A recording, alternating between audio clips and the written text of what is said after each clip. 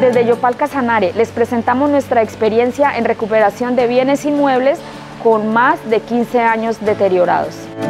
Bienes recuperados por administración. La creciente disminución de los activos del municipio ocasionados por el abandono y deterioro de la infraestructura física fue uno de los principales problemas que encontró la administración municipal al inicio de su periodo institucional. Adicional se evidencia interferencia en el buen desempeño institucional y la capacidad de respuesta a los ciudadanos debido al hacinamiento laboral y la centralización de servicios en un solo lugar, pero a la vez los escasos recursos para ello.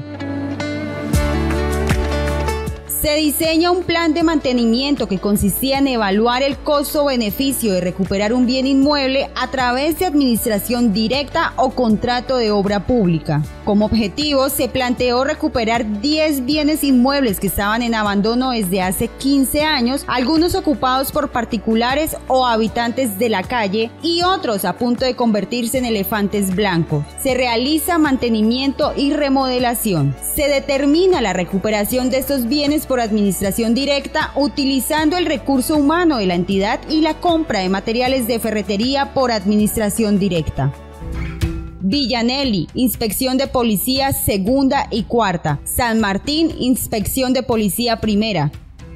CDI Compartir, casona donde funciona la oficina de Ediles, Tarima, Parque Resurgimiento, Parque La Iguana, Auditorio Braulio González. Centro de Hipoterapia, Triada, Centro de Servicios Educativos de Yopal. Solo se desarrollaba el 30% de los programas que hoy se desarrolla con los estudiantes debido al alto deterioro de la infraestructura. Edificio Archivo de Gestión. Recuperamos la memoria institucional. Hemos organizado con ello 13.000 cajas de archivo. Anterior subasta ganadera. Se recupera, se remodela un área de más de 10.000 metros cuadrados. Nos permitió la ubicación de la dependencia de la Secretaría de Desarrollo Económico ganadería y agricultura, como también medio ambiente y se convirtió en un centro de fortalecimiento económico a nivel urbano y rural. Casa de la Mujer, 11.000 metros cuadrados a punto de convertirse en elefante blanco para los cuales se requerían 3.500 millones para ponerla en funcionamiento. Con 1.400 millones se logra terminar y ponerla a disposición de la realización de programas sociales.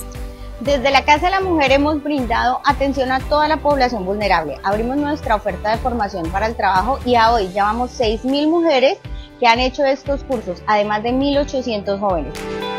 Se requería llevar cultura y deporte a la niñez y juventud de los 70 asentamientos humanos de la ciudad. Por ello, recuperamos el bien ICTI desde donde se promueve la cultura y el folclor llanero. Igualmente, se recuperan canchas deportivas permitiendo la práctica del deporte.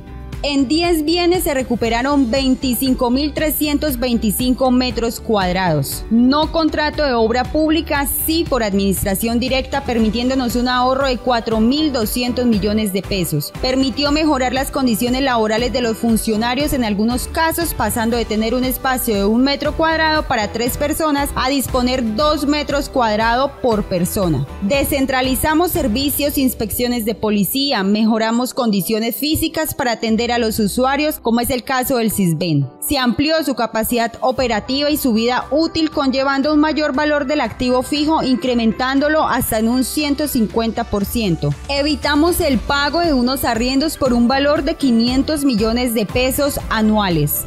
Yopal Ciudad Segura.